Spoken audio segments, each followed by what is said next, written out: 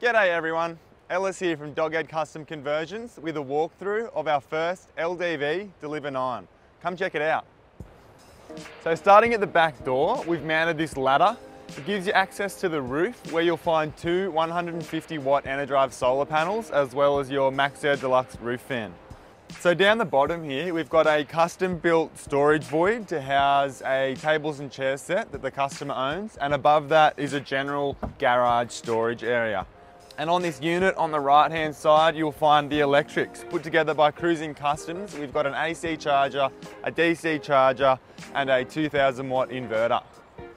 On the left hand side here, we've got one long pull out heavy duty drawer. And above that is a big pull out kitchen unit.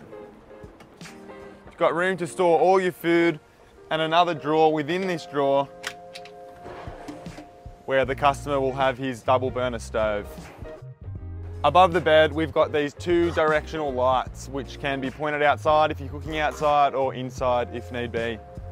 For added storage, we've got a full length overhead unit on the right hand side and same on the left. So before we jump in the side, you'll see this three meter Fiamma awning. It gives you a nice covered area to use this table for some outdoor cooking. Inside, there's a large amount of bench space with a sink and a tap with running water.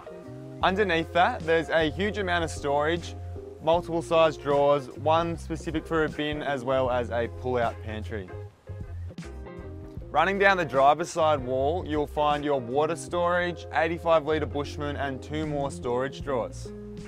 We've also added this floor unit, which gives you another extra storage space a small area to sit and a step to help you get up onto the bed. So on the walls, we've got two GPOs on each side as well as 12 volt charging on each side. We've got a Sirocco under the head unit as well as this recessed little storage shelf. Up on the roof, we've got three dimmable downlights and under the overhead is a dimmable LED light strip. Above the fridge here, we've got our battery monitor, our inverter switch and our water tank monitor.